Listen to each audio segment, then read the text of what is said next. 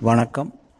நீங்கள் காண்பது சேலம் வின்ஸ்டார் நிறுவன மோசடி மன்னன் சிவகுமாரை கண்டித்து ஆட்சியர் அலுவலகம் முன்பாக பொருளாதார குற்றப்பிரிவு உறுதுணையாக சிவகுமாருக்கு செயல்படுவதை கண்டித்தும் தமிழக அரசின் கவனத்தை ஈர்க்க பொருளாதார குற்றப்பிரிவு மற்றும் மின்சார் இந்தியா மோசடி மன்னன் சிவகுமாரின் மீது கடுமையான நடவடிக்கை எடுக்க வேண்டும் என்று கூறி சேலம் ஆட்சியர் அலுவலகம் முன்பாக பெருந்திரளான மக்கள் கலந்து கொண்டு இந்த ஆர்ப்பாட்டத்தை நடத்தி வருகிறார்கள். தமிழக அரசு இதன்பால் உரிய நடவடிக்கை எடுத்து முதலீட்டாளர்களின் நலன் காத்து அவர்களுக்கு சேர வேண்டிய பணத்தை உடனடியாக கொடுக்க சிவகுமாரின் மீது கடுமையான நடவடிக்கை எடுக்க இந்த கண்டன ஆர்ப்பாட்டங்கள் நடந்து கொண்டிருக்கிறது. இதிலே கிட்னிகுமார் அவர்களின் தலைமையிலும் சந்திரசேகர் சார் அவர்களுடைய தலைமையிலும் இந்த ஆர்ப்பாட்டம் மிகச் சிறப்பாக நடைபெற்று கொண்டிருக்கிறது.